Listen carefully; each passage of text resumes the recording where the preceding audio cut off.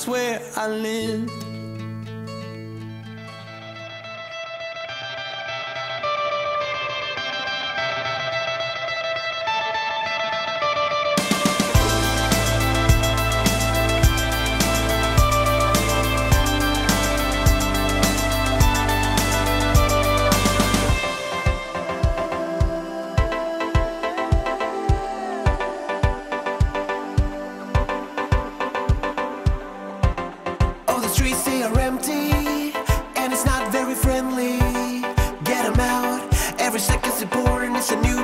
Rising.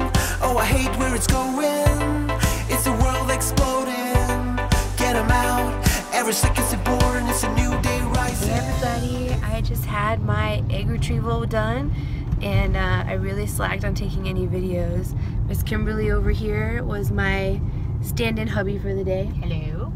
And um, she's taking really good care of me and um, it went really well. I of course don't remember anything but they said they got 14 eggs out of me this time which is double what I got last time so I'm really excited about that and then um, we have to wait a few days to find out what that turns into in terms of embryos. Um, I'm hoping for two to four would be just perfect, and that would be a completion for us to be able to move forward with everything. So um, it'll take a few days, if not a week, to really get good results for everything, but feeling really, really good about it and glad that it went so well. And now we are going home and I think some bacon is going to be made. And you don't get to eat or drink before surgery so I'm pretty hungry right now and pretty much looking forward to that. And then I'm gonna sleep all day maybe make videos later but really doing good feeling good. Glad this is all over for now and and uh, don't have to have any more injections and and, and all that painful stuff. So um, and Laura came too and, and they were both there waiting for me when I came out. I'll have to put in the cute little picture that they took but everything's going awesome and um, so glad that they could be here since Brian can't. So um, that's all for now and I'll be back later bye guys So it's mud season here in Montana, and the truck was really dirty, but I just rinsed it off, and the kids decided that they wanted to help. So, I'm putting the kids to work. Racy's brushing half the truck, and Connor's gonna brush the other half. And then, and only then, can we do the rainbow conditioner, which is what Racy wants so bad. So, yeah, I figure you gotta use child labor somehow. Missed a spot. Yeah.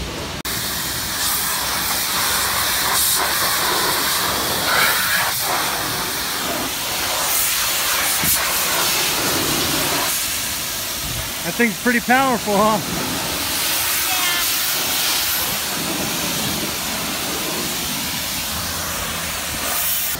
Hey, so how uh, how was hosing the truck off? It was empowering. It was empowering. Yeah, it was great. It's empowering using a pressure washer. Yes. Yeah, Because it's just like a kick makes you feel so evil. makes you feel evil, evil and clean. Yes. Now it's Connor's turn to hose off his half. You made the thought.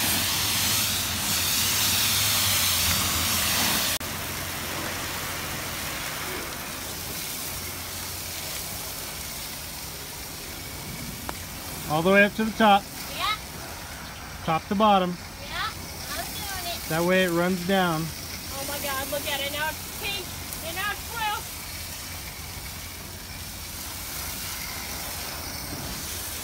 Oh my God! This is so enjoyable.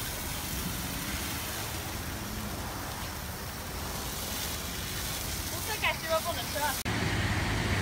All right, so we finished washing the outside of Jaws. Now we're gonna head home for some lunch. Ladies and gentlemen, it is moving day. Well, one of the moving days. So it's Sunday, and we plan on being completely, well, I can't say completely moved in, but we are sleeping at the new house tonight. We were supposed to sleep there last night. Yesterday ended up being too busy of a day.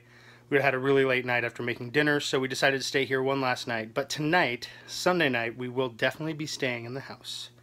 Um, so today, um, this morning, we took over uh, Christy and my's bed. Um, as well as all the bedding for that. We also took over pretty much everything of the kids, and they have all that over there. And I filled up uh, bins with all the kitchen stuff. So I've emptied out all these cabinets underneath the sink. Um, there's a couple things laying around, but I ran out of bins. So um, this is, pardon me, my pile of everything. So I'll turn it around and give you a better view. So, but uh, we are moving today. Big moving day. Gonna sleep there tonight. Very exciting. So here's all the bins that I have with stuff to take over to the house. I know it's just kind of thrown in there, but at this point, there's really, you know, not that much stuff for going into a house. So it's to be easy to take care of. House looks like a total, or the uh, trailer looks like a total mess right now. Once we get everything out of here, we're to start cleaning it up and uh, get this puppy ready to sell. Alright, so we have Racy's room all set up and ready to go. We have her desk built, and she's going to be putting away her laundry here in a second. So we have the loft bed. She decided to put her desk underneath and keep one of her barrel chairs out eh, underneath there and then her other barrel chair right here. And of course this is all going to be organized and put away. Yes. And then her wonderful closet. Yes. So you got a lot of room in here, babe. Yeah. So I really like how the loft bed allows you to utilize that room underneath. Yeah, me too. So, anything you got to say about your room? I like it, and it's pink and colorful. It's your unicorn's nest, huh? Yes, it is. Excellent. Hey guys, I just wanted to give you a little update. So I had my egg retrieval yesterday. Did not really end up getting footage of that, I don't think. Just a couple pictures of before and after. But um, I slept pretty much all day afterwards because it's kind of a exhausting slash painful procedure. But I'm feeling really, really good today. And um, so I wanted to let you know the results. Yesterday I left hearing that they got 14 eggs, which is really good. That's double what I got last time. And then today I got the first report, which is out of those 14, they were able to fertilize 10 and um, seven embryos are actually growing. So the number's already cut in half from 14 to 7, but it's still a lot better than last time. When we got to that phase, we were down to 4, this time 7. Now we wait until day 5. So today, I'm not sure if today is considered day 1 or day 2 because the procedure was yesterday. But day 5, they call and let you know how many of those that are growing made it all the way to day 5, which is when they freeze them.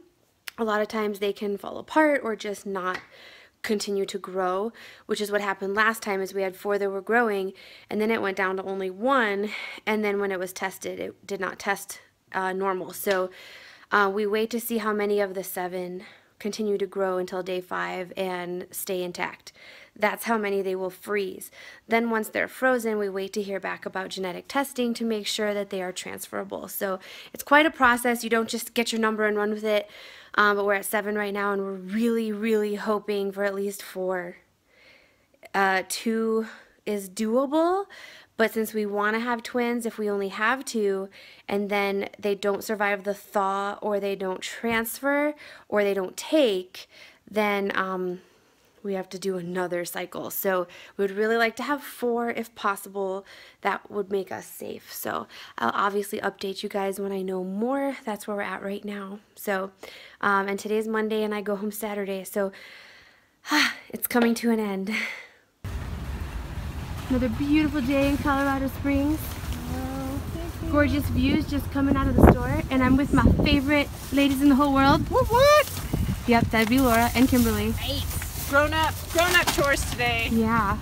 Cat litter and. I feel like every time you blog, we're shopping. I know, it probably is true. Well, because otherwise we're at home, and what is there to blog about? That is very true. Bachelorette, Bachelor. The Bachelor, yeah. You've been watching The Bachelor. Don't judge. Don't judge.